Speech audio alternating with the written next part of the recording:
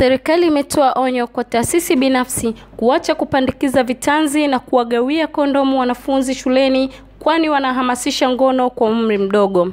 Kauli hiyo imetolewa na mkuu wa wilaya Nyamagana Mary Tesha wakati wa maonyesho ya siku mbili ya wanawake katika viwanja vya Gandhi Hall katika kuelekea maadhimisho ya siku ya wanawake inayotarajiwa kufanyika kitaifa Machi nane. Siku hii ya mwanamke ninapiga marufuku asasi hizo, manake nimewakuta wakati natembelea shule zetu, wapo asaweka mpaka vitanzi eti hili wasipate mimba waweze kusoma vizuri. Haya siyo maadili yetu, na bahati nzuri kuna asasi moja nimeshawapata elimu kumsaidia mtoto huyu wa kike ajitambue, ili avumilie, aweze kusoma vizuri, kwa sababu muda atakuwa nao mkubwa wa kufanya hayo mambo, sio sasa.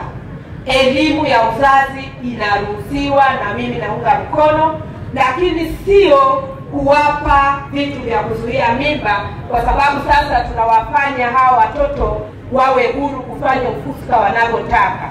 Sasa kama lengo ni kumsaidia mtoto wa kike asome, hata soma kwa sababu hatapata mimba, lakini atapata magonjwa, atapata ukimwi, atapata magonjwa mengine ya zinaa, bado hataweza kusoma vizuri.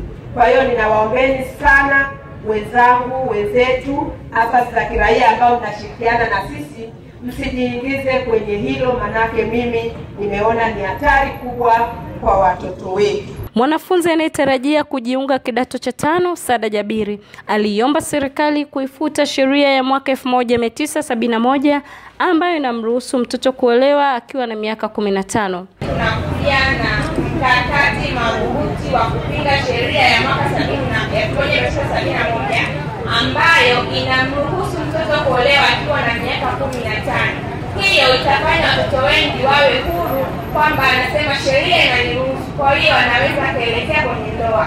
Hiyo nabidi tufanye mkakati ili kufikisha mtoto apate ndoa akiwa na miaka kuanzia atilisti ishirini na moja akiwa kashajitambua na elimu yake ambayo itaweza kumwezesha katika ndoa yake.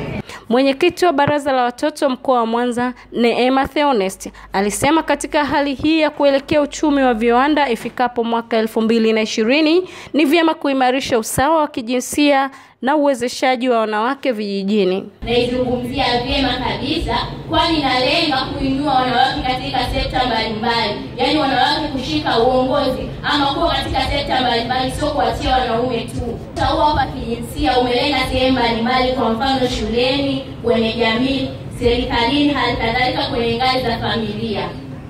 Mimi kama mtu wa kike baadaye nategemea kuwa mwanamke, si ndio? Nategemea kuwa mwanamke bora, maana na uwezo, lakini pia na ujasiri. Hivyo nikifikia kuwa mwanamke, naweza kushika nafasi mbalimbali, lakini pia uh, kuimarisha lazima zima la usawa wa kijinsia katika ngazi mbalimbali. Kwa kuwa nategemea kuwa mbunge. Kwa hili linawezekana, mwanzo. Uwezo wa wanawake kiuchumi kuelekea uchumi wa viwanda na katika kuondoa umaskini kwa kuzingatia usawa wa kijinsia pia umeanza kuonekana baadhi ya shughuli mbalimbali ambazo wamekuwa wakizifanya kama vile utengenezaji bidhaa za viwandani kama sabuni za usafi za maji, sabuni za miche, batiki, pia usindikizaji na uchakataji bidhaa kama dagaa, karanga, ubuyu na kadhalika. Pamoja na maafa ya jamii, kasi ya uelewa huu bado inakabiliwa na changamoto mbalimbali ambazo ni pamoja na ukosefu wa elimu ya masuala ya uzalishaji na uendelezaji wa viwanda, ukosefu wa uelewa mpana wa masuala ya jinsia pamoja na elimu ya ujasiriamali, kuendelea kwa mfumo dume miongoni mwa baadhi ya watu unaopelekea wanawake kuto kujiamini katika kusimamia shughuli mbalimbali za kiuchumi na jamii.